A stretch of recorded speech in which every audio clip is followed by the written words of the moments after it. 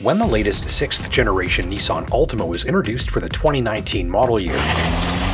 Several firsts were notable, but how much more gas does the standard all-wheel drive system use? What are owners saying about reliability four years out? And what do you need to know about two frustrating problems and one apparent design oversight that have left some owners furious? I've got that and more coming up for you, but first, let's meet this machine.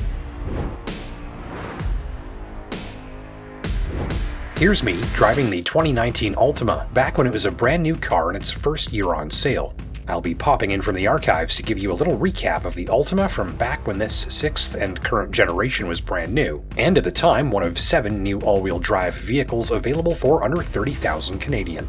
For the first time, the Altima was not only offered with all-wheel drive, but it was standard on every trim grade. New 19-inch wheels became available as well, but stay tuned for a caution on those later. Altima joins the Legacy, the Fusion, and a very small number of other mainstream sedans with all-wheel drive. So if you want to drive a car, like a car car, and that means sitting lower in the cabin, closer to the road, being surrounded by the interior rather than sitting up above it all, and you get a lower center of gravity, better handling, better mileage, and the list goes on. You get all of that here with power going to all four wheels for when the weather outside is lousy. So here's another option for you, and a pretty good one.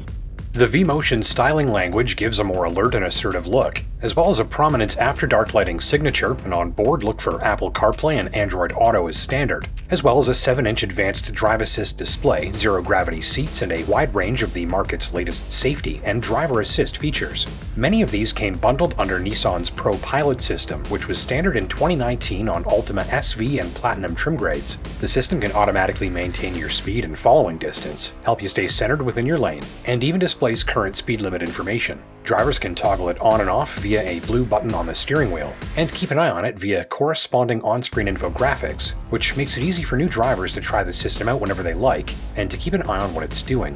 And if this will be your first new car in many years, and if you've never had any of these sort of high-tech safety and communications features before, there's little cause for feeling overwhelmed because like all of the sort of standard controls elsewhere on board, all of Altima's high-tech stuff is easily learned and becomes second nature to use before too long at all.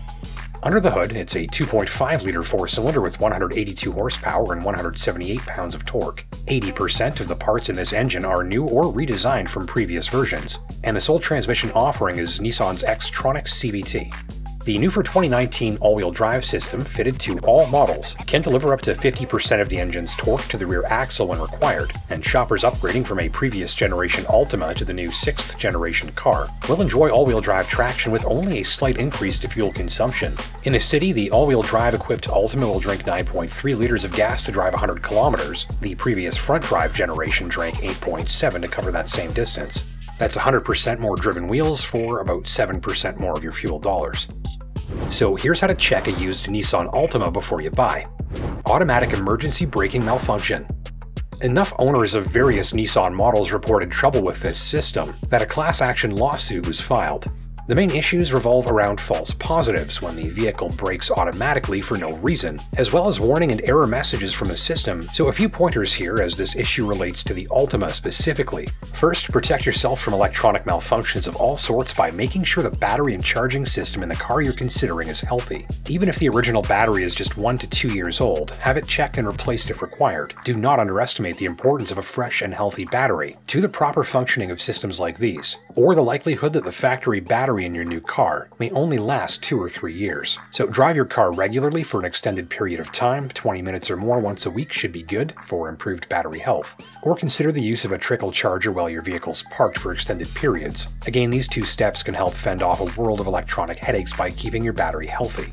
Next, be sure the vehicle you're considering is free of damage to its bumpers or windshield, and that the front and rear bumpers are aligned and mounted properly. Sensors behind the vehicle's grille and bumpers need to be aligned precisely to function the right way, and damage or poor quality collision repairs can cause issues. During ownership, regularly clean that radar sensor, the vehicle's front emblem, and other sensor locations according to the instructions in the owner's manual. Some owners even recommend cleaning behind the grille emblem as well. It houses the Altima's forward radar unit. And even a thin film of dirt or splattered insect can affect the system's operation. According to the owner's community, software updates may be required to successfully fix issues like these. Software updates are installed at the dealership during regular servicing. meaning a dealer-serviced used Altima is more likely to have updated system software installed already. Nissan has also updated or replaced engine control modules in affected cars in some cases. And if you're interested in learning a lot more information about this, I'd suggest heading over to autoconnectedcar.com and checking out Lynn Walford's story. Note that opting for a 2020 or newer unit will help you steer clear of what seems to be a first-year issue for this model. Another is the brake pedal switch. In 2019, Nissan recalled several thousand Altimas to check for a brake pedal switch bracket, which may have been mounted incorrectly and caused the brake pedal switch to remain active even when the pedal isn't being pressed. In addition to falsely lighting up the brakes, this could cause problems with shifting gears, cruise control operation, or even engine starting. Thankfully, the fix is easy and was covered by a recall. To see which, if any, recalls apply to the used Altima you're considering, just head to their Canadian recall site and key in the VIN. Be sure to try the backup camera in a variety of different situations and lighting conditions. Some owners have reported poor image quality or striping of the image, as well as video feeds that only appear after a considerable delay. Some of these issues may be more apparent in shady areas or low light settings. This type of problem can be caused by damaged wiring, typically at a point where the trunk lid wiring harness moves or bends. In other cases, the backup camera module itself could be defective. Just keep in mind that Nissan recalled over 1.2 million vehicles to address defective backup cameras, typically with a software update which may have already been applied to the vehicle you're considering. While you're paying attention to the backup camera, be sure to test the infotainment system too, confirming proper Bluetooth connectivity, functionality of all USB ports, updated mapping software, and more. Some owners have reported a concerning clunking sound from the rear of their Altimas in certain situations, many have not. Start your test drive by confirming that no loose objects are stored in the vehicle's rear seat, trunk, or spare tire well that could shift or move and create noise. Next, quiet the vehicle's cabin and drive at a reasonable speed, over some bumps, dips, and potholes, carefully listening for a clunking sound from the rear seat or trunk area. If you hear it, have a technician see the vehicle before you buy. Noting that a 2019 technical service bulletin from Nissan helped technicians at dealerships identify and address this problem, typically by installing a new set of rear shocks under warranty. Remember, a healthy, used Nissan Altima should handle rough roads without any clunking or unwanted sound effects from beneath the vehicle. And if you hear anything unusual, you should have the vehicle inspected professionally before you buy.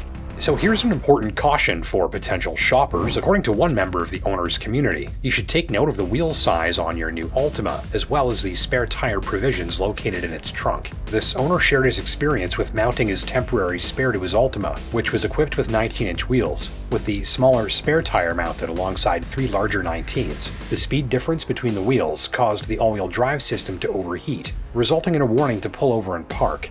So note that the use of mismatched tire sizes is known to be harmful to all-wheel drive systems, so consider skipping a model with the 19-inch wheels or upgrading to a full-size spare.